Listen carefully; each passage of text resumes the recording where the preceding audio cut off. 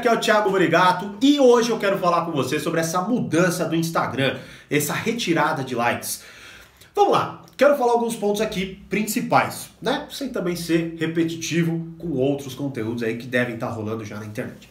Vamos lá, primeira coisa. Se você está me vendo aqui no Instagram, você sabe. Se você não está me vendo no Instagram, você vai ficar sabendo agora. Ontem eu fiz uma pergunta para a galera. Eu falei, galera, o que vocês acharam dessa mudança do Instagram, né? Tive lá mais de 100 comentários, as mais variadas opiniões. E eu quero falar sobre alguns padrões que eu vi ali. Eu, eu espero do fundo do meu coração que isso te ajude, tá certo? Vamos lá. Primeira coisa. Vai que alguém pergunta? Então já vou falar. Qual é a minha opinião sobre isso? Ó, geralmente, o que, que eu faço quando algo muda? A primeira pergunta que eu faço não é se é bom ou se é ruim. É, posso ou não mudar?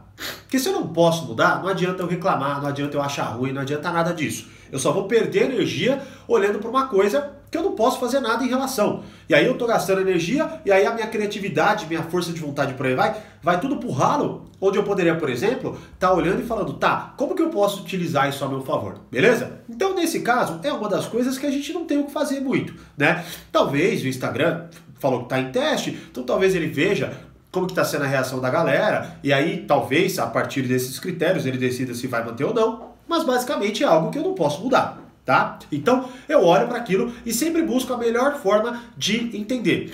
E até pela assim, indo de encontro com, uh, com os comentários que eu recebi ali na minha postagem, dá para entender que monte de gente achou legal, um monte de gente achou ruim, um monte de gente não tá nem aí. Então temos das mais variadas opiniões, né? Agora vamos lá. Qual que é o ponto mais importante disso aqui? Não é novidade nenhuma que o Instagram, é, não, e não falo isso a rede social não, mas a dinâmica do Instagram, ela tende a ser prejudicial para, enfim, para a maioria das pessoas, mas eu coloco assim para todas as pessoas. Mas não porque a dinâmica especificamente é ruim, mas porque na verdade ela joga muito bem com traços nossos já que, que, que já existem e, e tende a potencializar aquilo. De certa forma, não dá folga para aqueles traços. Como, por exemplo, a comparação. Se você está em casa, você não está tendo, eu vou colocar assim, estímulo nenhum, dificilmente você vai ficar se comparando com tanta intensidade. Não, dificilmente você vai olhar e pensar, puta, minha vida é uma bosta, do outro é melhor. Porque você não tem nada ali para se comparar de fato, mas com o Instagram você tem. Então, assim, primeira coisa, é, o ponto é, eu acredito que seja interessante, primeiramente, não sei se é a primeira vez, não sei também qual que é a, a lógica por trás dos caras, mas estarem olhando e percebendo que, poxa, vamos tentar fazer isso de forma um pouco mais saudável, né? Talvez seja isso, talvez não, porque afinal de contas os likes é uma parada só, né? Mas, poxa, interessante. Então esse primeiro ponto de vista eu achei bem interessante. De que, poxa, legal, eles estão começando a se preocupar com a saúde emocional das pessoas.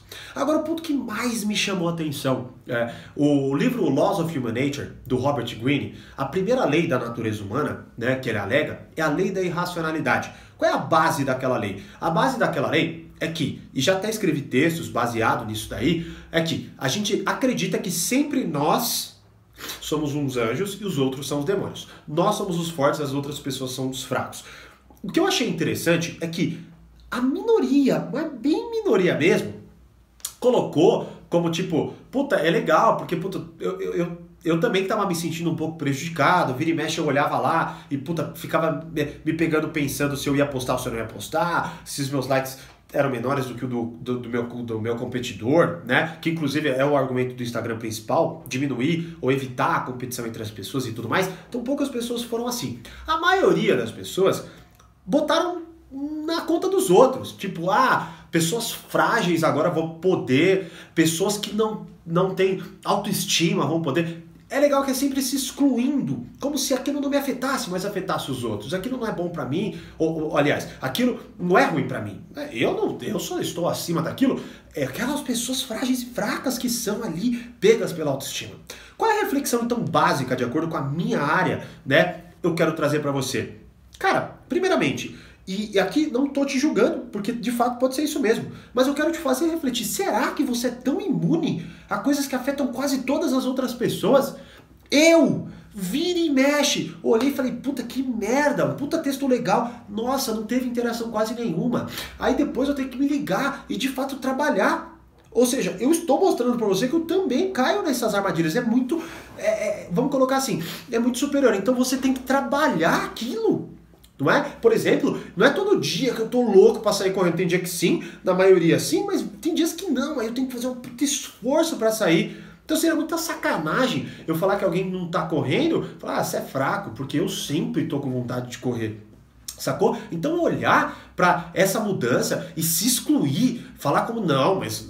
E detalhe, a maioria colocou como exclusão. E a minoria se identificou com a parada e outros colocaram de forma diferente. E tá tudo bem, eu não tô debatendo, eu não sei mais sobre você do que você mesmo. Mas a ideia, tanto que o Robert Greene defende, tanto que eu tô defendendo aqui no vídeo para vocês, é que, poxa, peraí, seja honesto com você mesmo, sabe? E pode ser que você tenha sido, não tô falando que não foi, mas reflita, minimamente olha. Eu vejo, é muito louco, tem um vídeo, não vou também nem falar o título, mas um dos vídeos mais vistos do meu canal. O título dele trata um problema A.